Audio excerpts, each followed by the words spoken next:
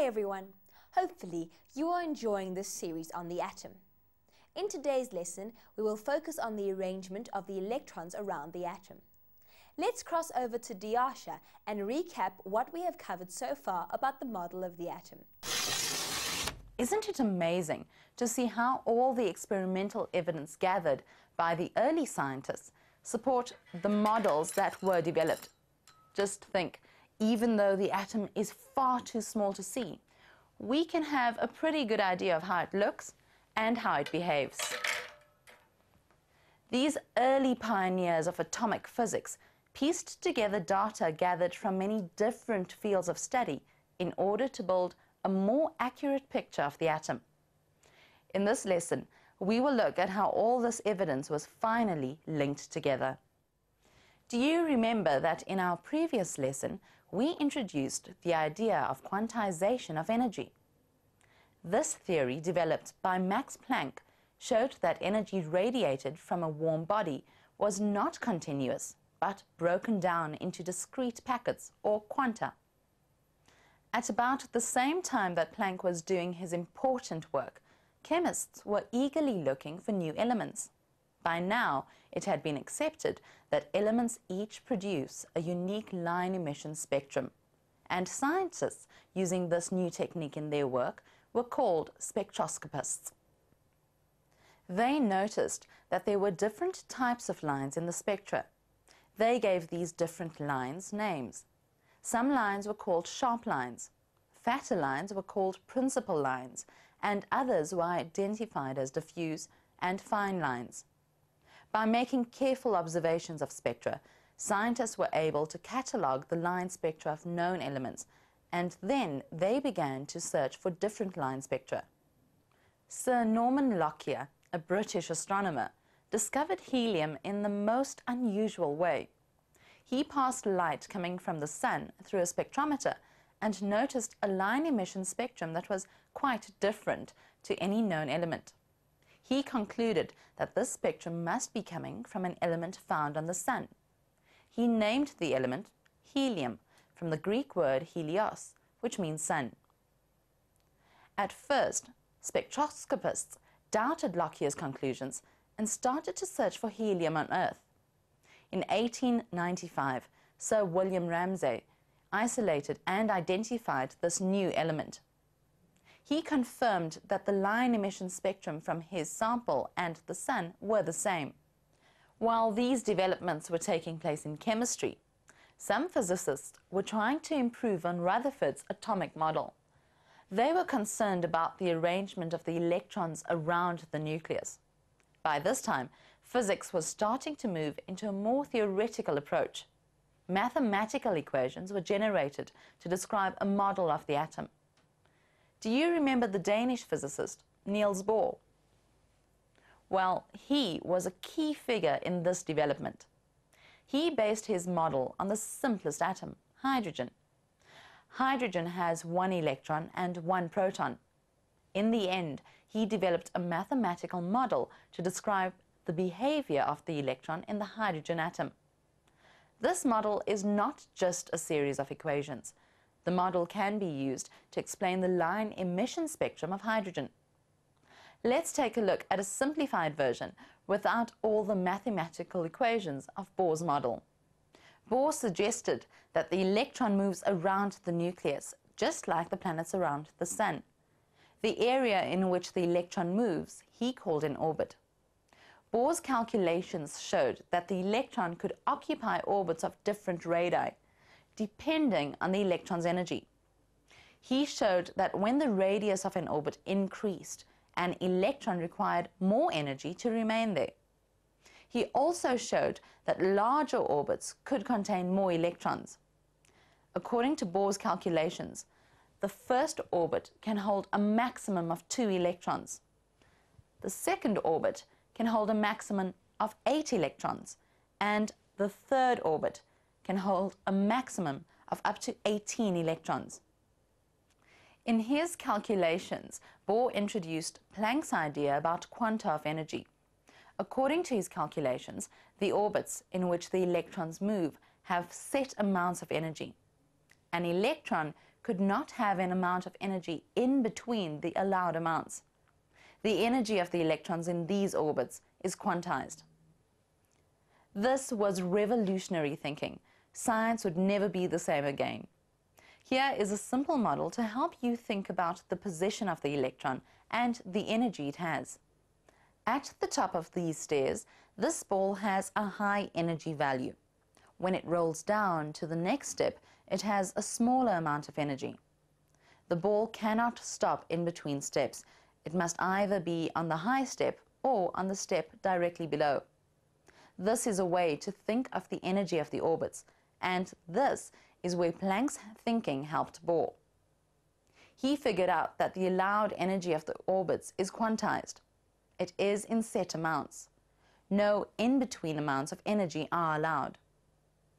There are two important consequences of applying the idea of quantization to the electron. Firstly, Bohr was able to explain why electrons don't radiate energy in small amounts and eventually crash into the nucleus. An electron in a particular orbit has an exact quantum of energy. When moving around the nucleus, the electron maintains this exact amount of energy. It is not possible for small amounts of energy to leak out, as predicted by classical physics. The electron can only gain or lose energy in quantized amounts. Secondly, he could use this new model to explain the line emission spectrum of hydrogen.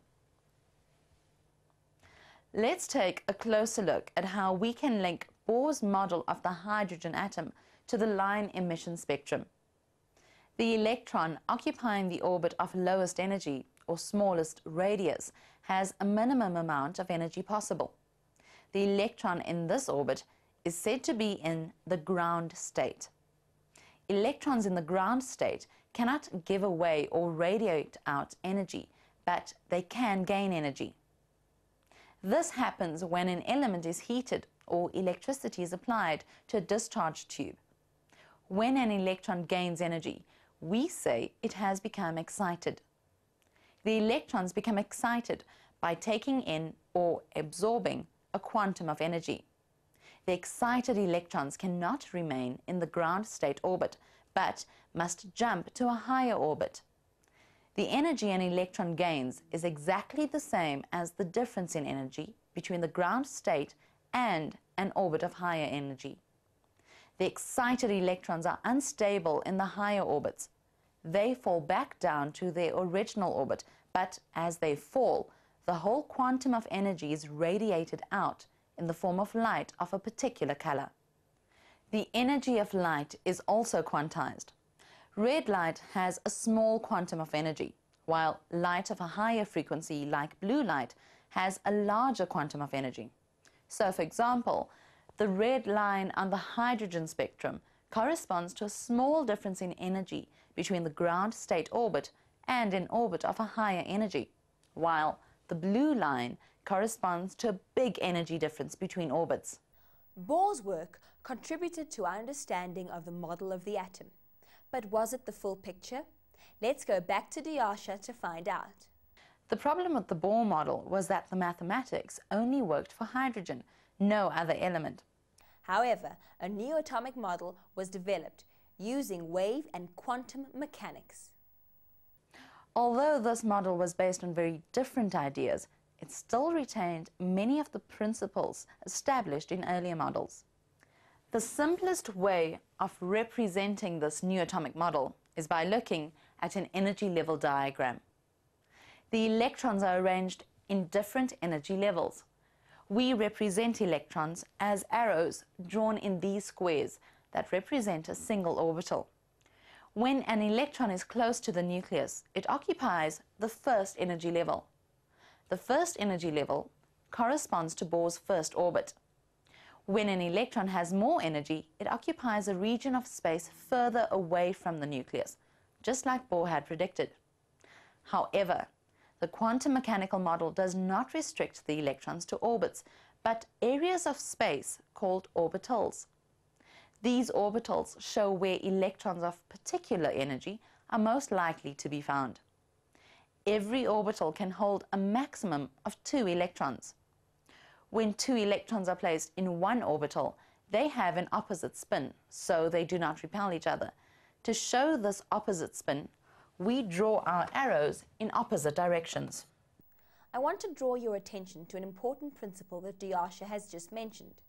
The reason we draw electrons in the same subshell as one arrow that points up and one arrow that points down is that two electrons in the same subshell do not spin in the same way. This is called Pauli's exclusion principle.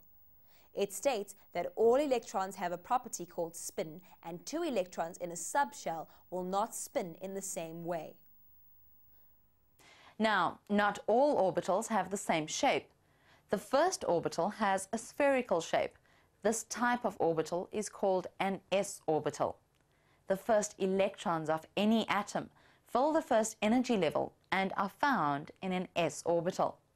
This energy level diagram represents this model more simply.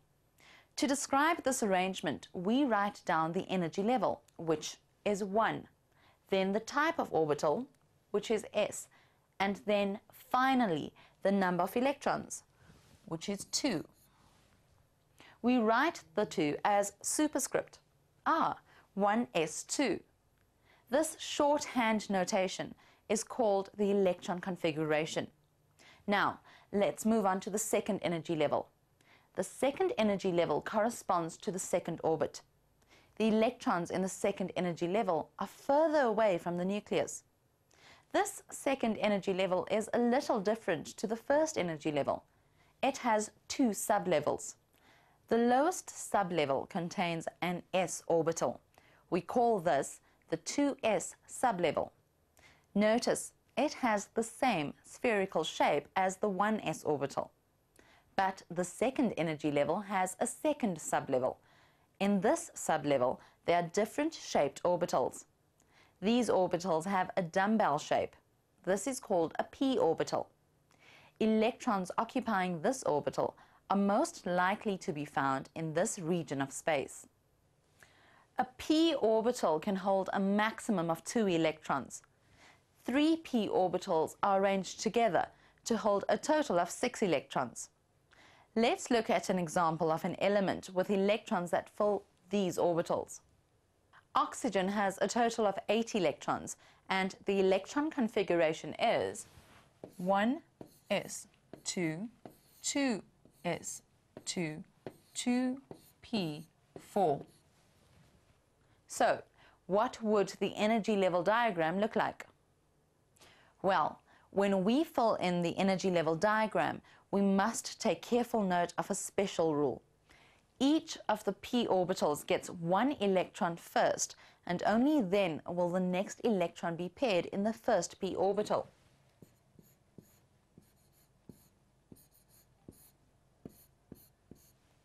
So, oxygen has an energy level diagram with two unpaired electrons. You need to be able to state this rule that Diasha has just mentioned. It is called Hund's rule. Hund's rule states that electrons occupy subshells of the same energy individually before they share a subshell. Diasha will show us how to draw energy level diagrams for atoms that have electrons in third energy level. Once the second energy level is full, we have to start filling the third energy level. Energy level 3 has three sublevels. They are called S, P, and D.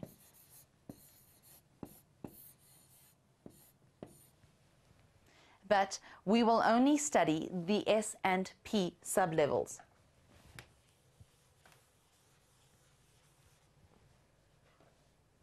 These sublevels are arranged in the same way as energy level 2.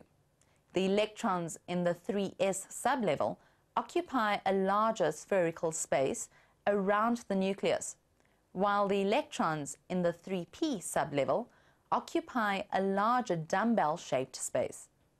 Of course, these electrons have more energy, which allows them to be in the third energy level.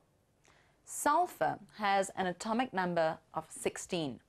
Remember, This means that it has 16 protons in the nucleus, and so it also has 16 electrons. Check that you can draw the energy level diagram and write down the electron configuration of a sulfur atom. Here is the energy level diagram for sulfur. Can you see that the electron configuration is 1s2, 2s2, 2p6, 3s2, 3p4.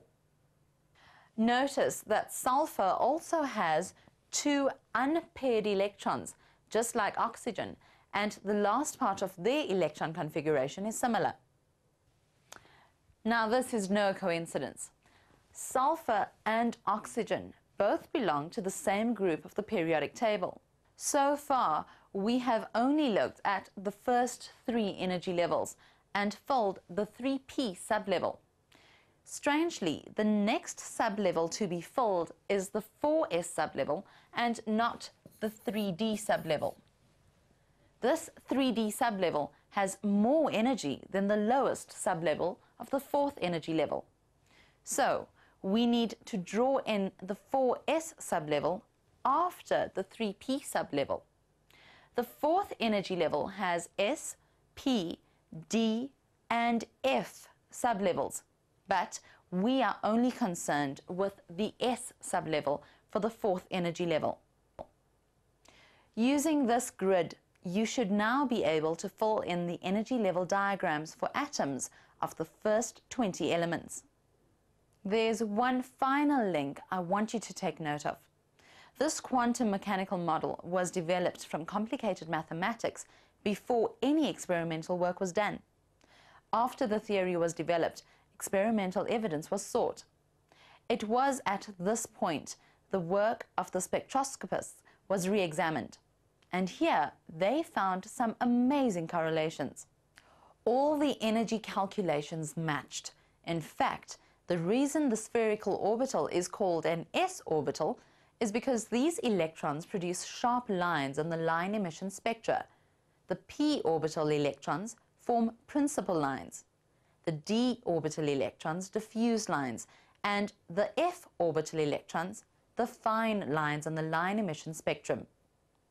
At last, we have a model of the atom that seems to describe all the observations observed in the laboratory. Thanks, Diasha. This lesson has provided the skills to draw energy level diagrams for the first 20 elements in the periodic table and write out the spectroscopic electron configuration for the first 20 elements. Practice these skills by completing the task for this lesson in the task video. Also remember to visit the Mindset website www.mindset.co.za forward slash learn. Goodbye until next time.